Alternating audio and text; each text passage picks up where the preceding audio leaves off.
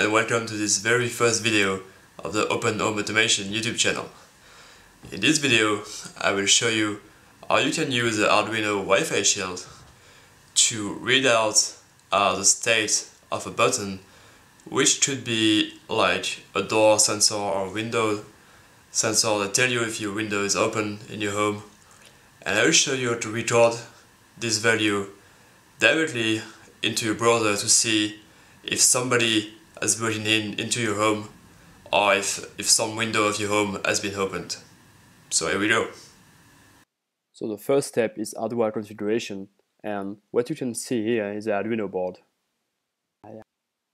So what I just did now is to plug in the wireless uh, shield into my Arduino Uno board and then I will place this small push button into the breadboard. The next step is to connect this resistor uh, right into the breadboard and it will be used to uh, the pull down resistor for the digital input pin. Then we have to put some wires. So first off, uh, the ground wire directly into the ground of the Arduino board.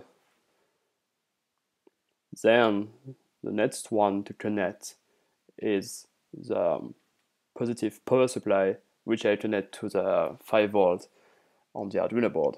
And finally, there is this middle pin, which I will connect here with an orange cable uh, into the pin number 2 of the Arduino board. So now at this point, the hardware is completely configured and we are ready to write software. Okay, so at this point, your hardware should be all set up and we can start by testing the individual components. So the first one is uh, Arduino Wi-Fi shield. So what I just did is I loaded the official uh, for the WPA uh, networks, which will just check if uh, we have a wireless connection. So I will just upload this sketch into my Arduino board and it's done. And then I will open the serial monitor, which should open to show us some information about the network. So that's the name of my network. And now it should just connect and display informations. And here we go. And so this is the signal strength. You have the IP address, and this one is quite important. You should note it down, and we'll use it in the rest of the tutorial. Now back to the hardware for a bit, because I want to show you what the shield is doing when it's working correctly. And you can see that this little LED, the link LED is blinking in green, which indicates that you successfully establish a link between the board and your wireless router. So at this point, if you see this, everything is going well. Okay, so now we tested the, the wireless uh, shield and we'll now test our um, hardware system for the, the small push button. And you can see I have a very simple Arduino script I connected the button to the pin number 2. I just read it via this digital read function and I, I print the state of the button um, on my serial monitor and I wait for some time. And now I just upload the sketch. Okay, it's done. And now I will open my serial monitor and you can see that I have I have a lot of zeros. So every millisecond I made a new reader, a new reading, and for now the state is zero because I didn't press it. And now I will just go into press the button, and as you can see, instantly it changed to one. So I, I still have my finger on, on the button. I release it, and I can see the button is working just great. Okay, so now we can have a look at the final script and see how we will make the software for this project. So it's again based on the official uh, Arduino script uh, to connect to wireless network. And what you have here in the loop is we actually look if we have um, a client which connects to um, to our server which is running on the Arduino board. And This client, for example, will be our computer that will access directly the Arduino board with the wireless shield. And if a client is present, what we do is we create this very simple HTML page to answer um, the client. And we check, you can see here, we check this door status. And if it's false, we just print that everything's okay on the browser. If it's uh, true, it means something uh, pushed the button, which means, for example, in home automation that the door has been opened. And then we print um, alert that the door has been opened. Now, the only thing uh, left we have to see is how do we get this door status. And you can see that there's a function here, set door status, but this just sets the door status to, to true.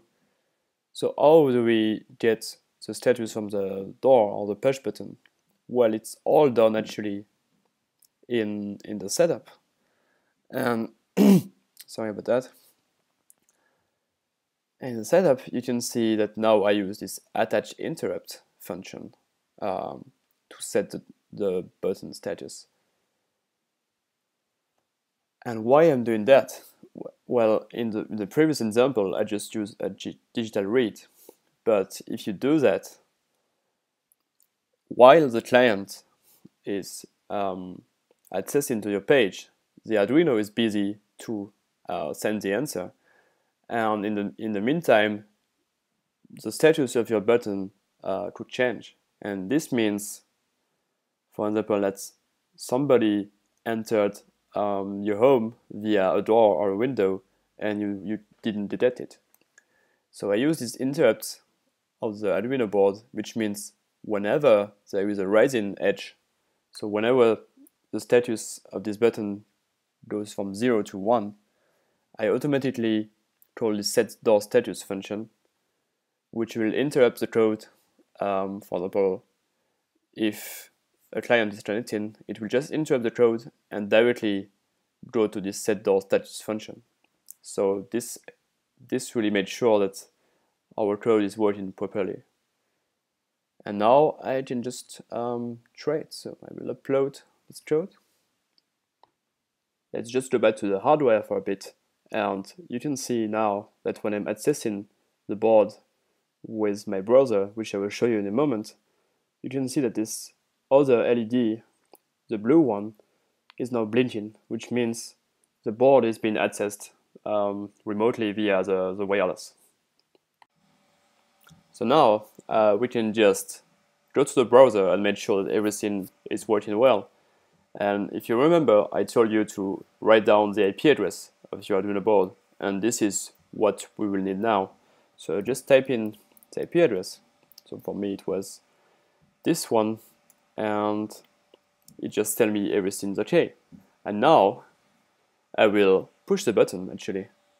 I'm pushing the button right now, and the state should just change. And we go. It says alert, the door has been opened because I just push the, um, the press the push button on the Arduino board. And the cool thing about this, just close my browser, put the code again, and the cool thing about this is that now the Arduino board is still connected to my computer, but this really doesn't depend on your computer. So you can just um, plug the Arduino board and the wireless shield to any power source and it will just work by itself. And that's that's really I think a great advantage of this uh, wireless shield for the Arduino board. So that's already the end of this first video on our channel. I hope you enjoyed it. Uh, don't hesitate to comment right here on YouTube and go on uh, the corresponding article on our website at openhomeautomation.net I included a link in the YouTube video description. And on our website, don't hesitate to comment, to modify this project, and then to share it. That's the whole idea of, uh, of my website. Thank you and see you on the next time.